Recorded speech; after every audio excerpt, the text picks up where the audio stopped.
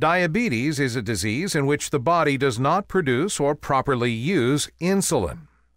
Insulin is a hormone that is needed to convert sugar, starches, and other food into energy needed for daily life.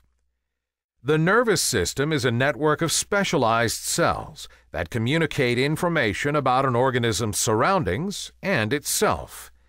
It processes this information and causes reactions in other parts of the body.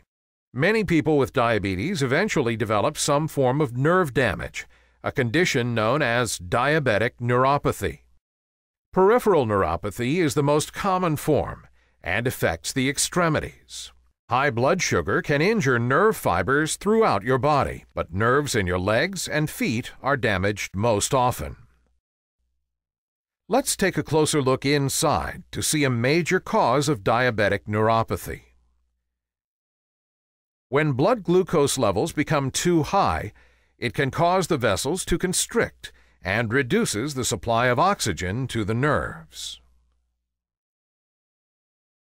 When nerve systems are deprived of oxygen, it causes the axons to sever ties with surrounding nerves, and communication signals are lost.